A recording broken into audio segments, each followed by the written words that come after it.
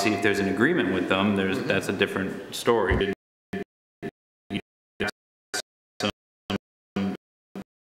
Answer to that question, um, because right now I see that that could be legally problematic for the applicant. That's fine.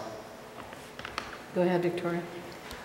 Um, I also like to see um, 20 feet, where's 20 feet that's existing and where's the 80 feet? I would like that plotted out so I can see exactly. Is the gate 100 feet from the edge of the property? The, uh, the Where 20 would- feet is in here, uh, excuse Okay. me, is in here.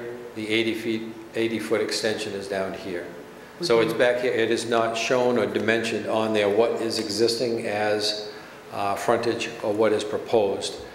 But based on this, and then the 80-foot addition on here, or reconstruction, uh, provides the 100 feet of frontage for that lot. And how much of that was going to be improved? Just up to that spot is Right here, this is where the paved berm is. That diagonal line is the paved berm. So anything beyond that would be improved. So that section? That section, correct. Because Where the they stipple actually is. own th- their property line, That is correct. The property line goes all the way down to here. but you're not proposing to improve that? You're No. only proposing, okay. No, only So enough that's to why- get frontage. That's why I want to know Okay, what I'm looking at. Thank you. yes. Go ahead. This is actually a question for Maureen. Maureen, is there anything within our ordinance that says that you could not put a gate in the middle of a private access way? I don't think there is. Um, So in theory, you could build a private access way, um, but kind of have a gate that goes right in the middle of it? The way our ordinance is structured, we, private access ways are the baby streets of the ordinance.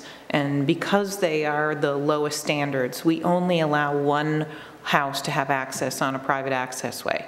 The expectation is once more than one house needs access, you must upgrade to a private road. So converting from a private access way to a private road is actually anticipated in our ordinance. Um, Anytime you do something that is inconsistent with a planning board approval, you've got to amend the approval. So, you know, when they put the gate in, there was nothing that was being changed from the private access way, because the private access way ended just beyond the turnaround on the Munn's property. When the town approved Cottage Brook and uh, Astor Lane was approved, again, the gate was not there at that time, and there was nothing about the gate that contradicted what was going on with Cottage Brook. If this goes ahead, then it may require inherent in it amendments to the private access way for the Munns, that, for the property that the Munns now own. But it's not something that I think the planning board, that the, the property owner, I don't believe has the right to say, no, I'm not going to agree to those amendments. Because the property, Mr. Munns does not in and of himself own that private road. And I'm, you know, going into the, my favorite topic, paper streets. But um, probably this applicant will need to provide the planning board with a legal explanation of what rights they have. But my understanding is that everyone that owns a lot in a subdivision has rights in the roads shown on the plan on the subdivision. So I don't believe there would be anything that would prevent one property owner from upgrading a private access way to a private road. Does that make sense? Okay, Jim, you had a question. Um, I don't think we've addressed this, the, the 22 feet width and the 18 feet width of the roads, is that, I guess maybe it's more toward Maureen, are we concerned with that reduction uh, to 18 feet? Well, This is a private road that's being requested, and it's being requested because there's already a private access way there, so you, you really need to go up to the, from the baby road standard to the regular road standard. So a private road is supposed to meet the same standards as a local public road, with three explicit things removed. You're not required to pave it, you're not required to put a sidewalk on one side, and you're not required to put street trees adjacent to it. In addition, in the subdivision ordinance, it explicitly gives the planning board authority to waive things. I believe it's 1635, it's right near the end of the ordinance, so, and I can read that to you if you want, but it it explicitly says the planning board has the authority to grant waivers when the intent of the waiver isn't to just undermine the ordinance, and the waiver will result in better neighborhood design. So you do have flexibility to reduce the width of a private road from 22 feet to a lesser width. Okay. Okay. Go ahead, Jim. Um, It seems that one of the factors, though, in deciding whether to grant that waiver would be whether or not the gate is there, and that road becomes subject to more traffic. Yeah, I see what you're saying. I agree with that.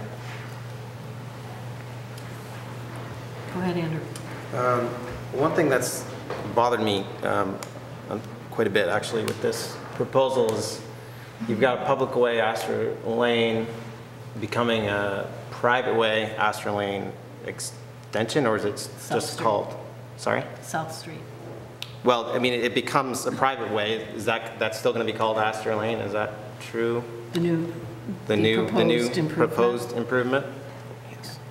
Um, And then it becomes a different name at some point. And if there's no gate there that demarcates that transition, I do feel like there could be, you know, uh, emergency services issue with that. I also wonder, in that regard, which takes precedence in terms of naming. You've got the Munzes who are on South Street, their, their, their driveway now en- enters on Astor Lane Extension. Um, uh, Who wins that battle? Like, are they now named Astor Lane, or are they South? go ahead.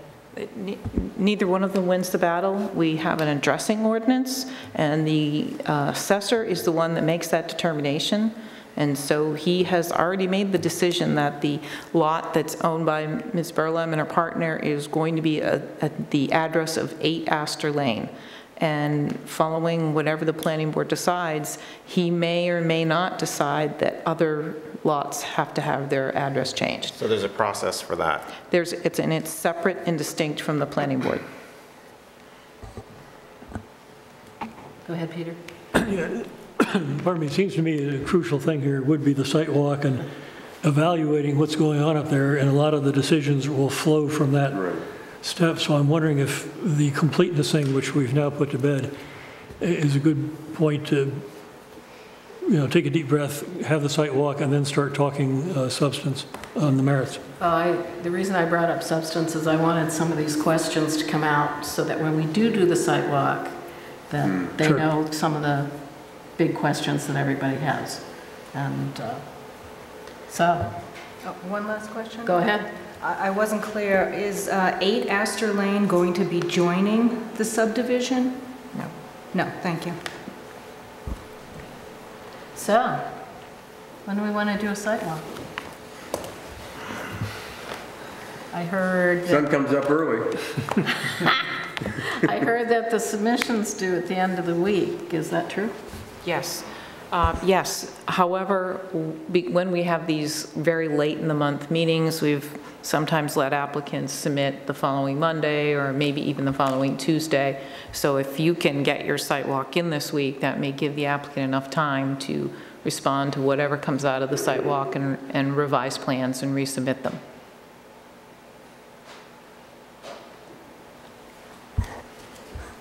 What's it looking like for everybody? I can, I know you said the sun comes up really early, but I also know, I also know what that neighborhood is like before school, and I personally do not want to be down in there when kids are, when potentially being in there when kids are meeting the bus. Okay. So I have, I have delivery trucks that go over there, and they do not go until after the school bus is gone. So, End of day? End of day is fine with me. I'm, I can't do Wednesday. I'm gone next Wednesday for about a week, starting So we next got to week. do it before, Yeah. I'm and not then- available the rest of this week. No, it's Saturday morning. Zero dark 30? Saturday morning? If we did Saturday, I would prefer if we did it around like 10, because I'm getting in at 12:30 that morning. I'm gone Saturday. But Sunday? Sunday? Sunday? Still gone. You can't go. You have to stay. So Saturday at 10 is no good? No, that, that works for me. It works for me. Joe's not here. He's not here on Sunday either. Oh. Friday? I can go on my own. What about Tuesday after? Tuesday, la- next Tuesday? No, or like tomorrow, tomorrow. Tomorrow. Tomorrow? Um, I'm not yeah, available. I could do that. Jonathan can't. You- You guys can go without me. I don't Who do you like more, Joe or me? I don't think, you- I Saturday or really, Tuesday? based on some of the questions, I don't, really don't think you want to. Sure. The 30th. Monday, The 30th. 30th, week from today, Okay? Works for me. Yeah. late afternoon, early evening, 5, 5:30? 5, No, I don't get out of work till about that time. Uh, 5:30 works better. 5:30? 5:30 is fine with me. 5:30 next Monday? Can babies be invited? The th- the 30th? Oh, yeah, come before. Sorry? The the 30th? The 30th. The 30th at 5:30? Can we go 6? This is Okay, PM, this is PM. I know. All right, 5:30. Okay. You can wear your skis, Jim. Can you make it at 5:30, Jim? Yeah, I can, I'll make it. Okay. I'm whining. 5:30, Monday, April 30th. Where should we convene? Where can we put our cars? I would, I would park right at the end of Astor Lane. It's a public road, you can park on either side of the public road. Okay. On the Astor side or South On Street? the Astor side. On the, on the public road Astor side.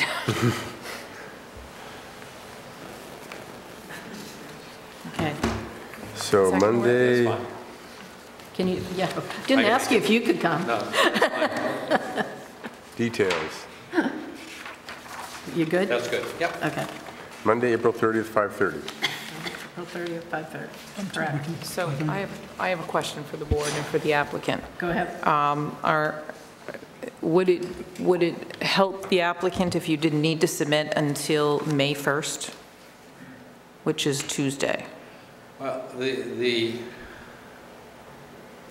the critical thing that has come up uh, is obviously the gate and then traffic. That's a, that's a, a critical piece that takes some time if that is an issue that has to be addressed. Um, The stormwater, I'm not concerned about. Uh, Regrading, putting a driveway in, culverts, that's minor. Uh, But in regards to um, traffic, um, I have to get a consultant to do that because I'm not a traffic engineer. So, So waiting Yeah. until Monday, Tuesday doesn't help you? no, it doesn't. It it doesn't, but it- it's a, it's, it's all depending on how much more discussion is going on with the traffic. And, and once you and- and walk we- the site. And we won't know until the next meeting? That is, that is correct. Okay. And also, once you walk the site um, and yourselves make a determination of which way you would drive, that may help you in your determination also.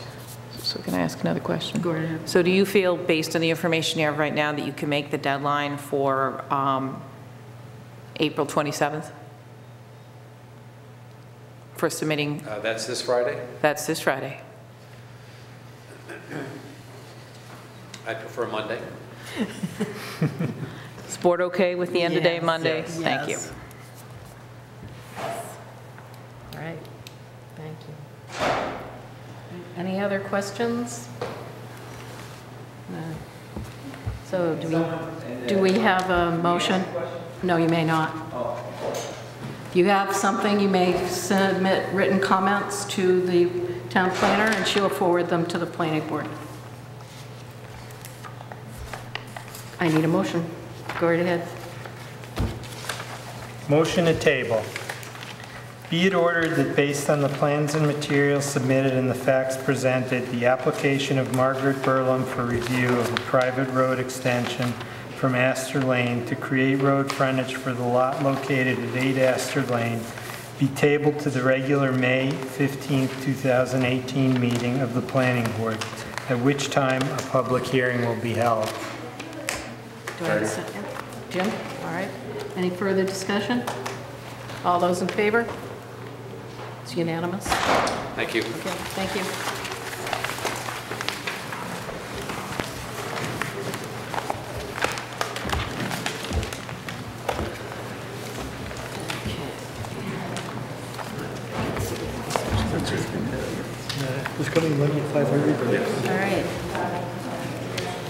Next item on the agenda.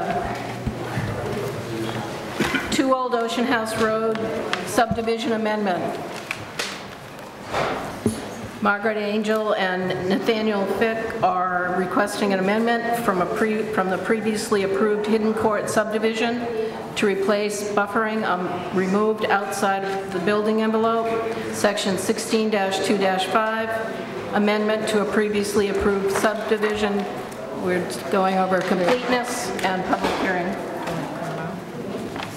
If you're leaving, please leave quickly so we can move on with the agenda and quietly.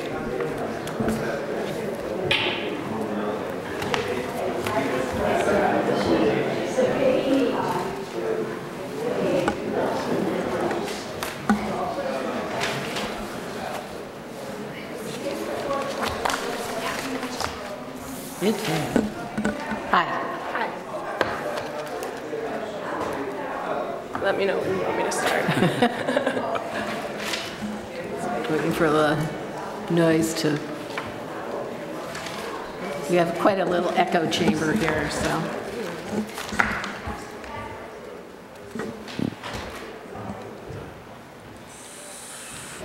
All right, go ahead. Introduce yourself and, Angel of 2 Old Ocean House Road, and I am here to propose our remedy to the notice of violation that we received on December 17th, uh, in December 2017. Uh, The remedy in the materials I sent constitutes what we discussed and what was recommended at the workshop on January 2nd. Um, A brief, just to remind you of what happened. Um, In October, we were granted a permit to build on the lot at 2 Old Ocean House Road. In early November, we began excavation, and the southern end of our building is right up against the no-build buffer between our property and um, the line that goes between the Governales lot and the Strout lot. And uh, when we began excavation, the process of excavation disturbed the tree roots of three uh, trees in the buffer zone. Um, And then there was a windstorm, which made them very unstable, and our contractor took out the three trees to provide for safety in the, in the pit, in the construction pit. Uh, And Ben McDougall came by to inspect the foundation footings footings and served us with the notice of violation for the loss of those three trees. Uh, In January, when I came, um, I offered a mitigation strategy of planting two trees for every one tree lost in the vicinity of where they were lost. Um, And you all recommended two things. One, that I consult with the town tree warden on the species of trees, uh, because he's concerned about the variety um, of the tree canopy in the town and that I talk to my neighbors um, to get their approval. And in, uh, in the materials I submitted, you'll see that we did meet with the town tree warden, uh, Todd Robbins. We walked with him, and he recommended that we plant two Fraser fir, two balsam fir, one hornbeam, and one serviceberry. The list um, made our neighbors happy. They they were confused why we selected those six, and we explained that it was the town tree warden. Um, So they are on board with it, and you will see enclosed is a letter from Frank and Terry Ann, Frank Governelli and Terry Ann Scriven. Um, One set of neighbors affected, and the other uh, from Frank Strout indicating that he and his sister and brother, who co-own the property, um, the other property, support Terry Ann and Frank's letter. Um, In, in the enclosed materials, I provided a site plan with the locations of the six trees, which the neighbors are on board with, um, as well as the endorsement from the neighbors. Thank you. I'll open it up to public comment regarding completeness of this submission. And seeing no one coming forward, I will close it to public comment. It's just a formality here. So, all right, board, questions regarding completeness? Anybody? All right. I don't, go ahead. Oh, did you have a comment? No, you go ahead. motion. Oh, I- no, I have, a- I have some questions.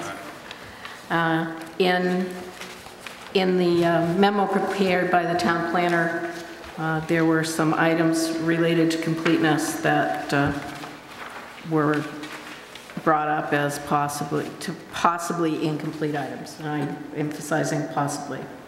So I wanted to get people's reaction to um, demonstration of right title and interest, um, The uh, plan that is, it was submitted based on is not the most current amended plan. And I'm just looking to see if anybody cares about these. What is different than, I mean, The subdivision's been amended, and I believe the change was related to some property on the other side of, see this hash marked property? Yeah. That was, I believe that was the amendment. It's my error, I submitted the wrong. Yeah, that's okay, I'm just making sure that we cover all the bases here. And if nobody has a problem with this, then we're, we're fine. So, go ahead, Peter. Yeah, no, this is, I, to me, it was a fairly ministerial act, uh, taking three trees that were taken down, replacing with six trees, and in in no respect do I see anything else happening. And so I would think that this information uh, is, are things that we could do without. Okay. That's what I wanted to hear from somebody. I didn't want to assume it, so. All right. Everybody in agreement with Peter? Yeah. We're I'm in fine. agreement. I noticed um, there was one item about um, E. It said, "No information regarding the planting procedures have been provided." I remember there was a note saying this was going to be done by June? or- By June, yeah. June. Um, And I know you're, you're working with your neighbors, which is always nice. I like when neighbors do work together. As you can see, when they don't work together, what happens? You might have just observed that. So I'm glad you're working with your neighbors, and I'm assuming the neighbors will also be anticipating those plantings, and will probably be in touch with you in regards to those plantings. So for that reason, watching all these neighbors working so nicely together, I'm willing to also waive some of these other standards, which normally, you know, I don't waive anything. I know. But I it know. is, I'm- it's good faith. I'm, I'm glad you're doing the right thing, and I'm glad you went to the tree warden and you're working with your neighbors, so that's why I'm willing to go along with these waivers. I agree, they're administrative. Okay. Go ahead, Jonathan. Just a brief question for Maureen. Maureen, we have uh, code enforcement. We'll just monitor this to make sure it's done? I feel confident he will be, yes. Okay, thank you. Now, if you'd like to make a motion, Jonathan, you may. Oh, me? Sure. All right, to be it ordered that, be it ordered that based on the plans and materials submitted and the facts presented, the application of Margaret Angel and Nath- uh, Nathaniel Fick, uh, Flick? For review of an amendment to the third amended Hidden Court subdivision plan to replace trees removed from the buffer be deemed complete. And Joe seconds. Any further discussion? All those in favor? It's unanimous. All right, so now I'm going to open this to public hearing. I believe that's the next item. So, yep. So open the- this to public hearing on the substance of this submission. Is there anyone here who wishes to speak? Seeing no one, I'm going to close the public hearing and turn it over to the planning board for questions and/or a motion. Go ahead, Joe. I'll make a motion. Go ahead. Motion for approval.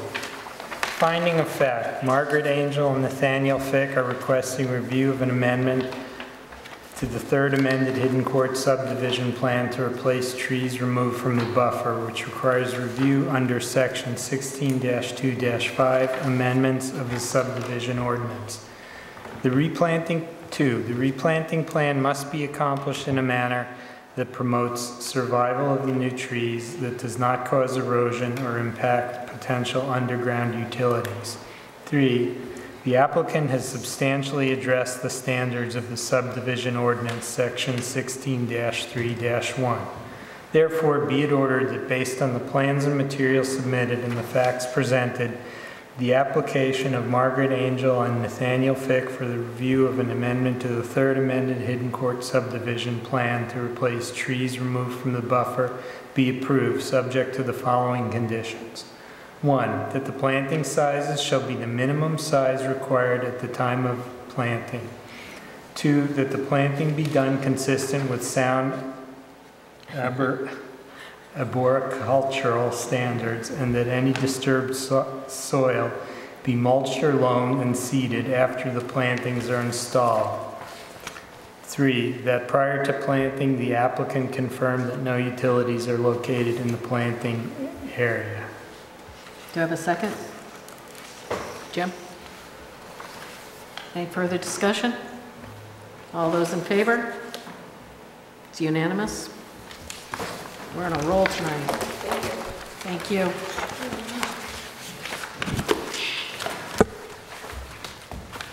Okay, next item on the agenda. Used car sales zoning amendment. The town council has referred to the planning board an amendment to the, to the Business A District Shore Road to allow used car sales in conjunction with a repair garage, section 19-10-3, zoning ordinance amendments, public hearing. All right. Want to summarize this, Maureen? You Certainly. do it so much better than I do. Oh, yes, thank you so much. So, um, and the applicant, which I believe is in the audience, uh, owns a service center on Shore Road and would like to be able to um, sell a small number of used cars as part of their operation of a repair garage. The code enforcement officer has determined that under the current zoning, that's not allowed. So what you have in front of you are two amendments to the zoning ordinance. One is adding a definition of repair garage so that we know what we're talking about, and it's just your traditional, any building used for commercial purposes to repair motor vehicles, et cetera. And then the second piece is the, the more substantial piece. The planning board decided that they were uh, okay to recommend sales of used cars only if it was related to a repair garage and only in the BA district that's located on Shore Road. So in the BA district, um, under permitted uses, you've added after repair garage, quote, in the Shore Road business, a district, a repair garage may include up to three vehicles at any time for sale. That's the text of your amendment. Going to open this for a public hearing on this uh, zoning, proposed zoning amendment. Seeing no one, uh, I'm going to close the public hearing and go, to- come to the board for any of their questions, comments, any proposed revisions, or are we good to move this back to the town council? I'm good. I have a motion for the board to consider. Go right ahead. Be it ordered that based on the draft amendments and the information presented, the planning board recommends the used car sales amendments. Second. Go ahead. Oh, go ahead. We can discuss now. You- You said, okay, used cars. I- It says um, that it would be able to sell up to three vehicles. Do we need to define it as used vehicles then?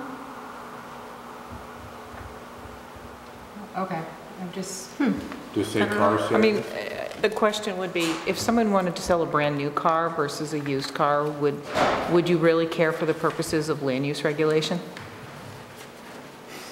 I'm just, you know, I heard I mean, used. The limit, the limit is, I mean, I think your real concern is that the limit is three in any one time. Thank you. Go ahead, Peter. Well, this may be somewhat close to Victoria's point, but you're also referring to vehicles rather than automobiles or cars. Do you contemplate Motorcycle. motorcycles, ATVs, pickup trucks? uh, In in other words, do you want to specify the type of vehicle, or do we care? Oh, that's true. Well, the uh, proposed amendments say vehicles, and maybe, so maybe our, maybe our motion should say vehicles as well. I'm sorry, I didn't hear you. The proposed changes to the zoning say, use the word vehicles. So maybe our, maybe um, we should revise our motion to say vehicles as well. So, If I could. go right ahead. The term used car sales amendment is just the name of this particular effort. It doesn't have any legal weight. Well, no, I understand, but I'm Yeah. saying, what do we intend? Are we intending this to be limited to an automobile-type venture, or how would you feel about motorcycles, ATVs, et cetera? They- They're all, they're all vehicles. I- Or I would suggest that if that's something you want to address, this needs to go back to a workshop to work out that definition. But it says vehicle.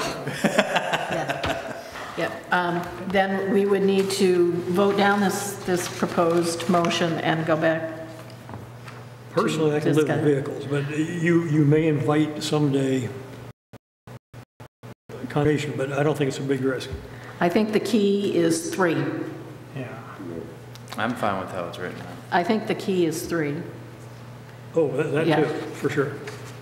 Go ahead, John, what did you say, Jonathan? I'm sorry. I was just saying, uh, because I seconded the motion that I'm fine with, and I, that, that I think safety adequately protects everybody. Yeah. And plus, the town council has final approval on this anyway. So. All right. All those in favor? It's unanimous. We go to the town council for their, well, whatever meeting they decide to put it on. All right. Any other motions that anyone would like to put forward? Like adjourning? Yes. Let's do it. Okay, Jim makes a motion, we adjourn. Second. Joe seconds it. All those in favor? I believe it was unanimous. Peter was putting his papers away. All right, done. Through your first one?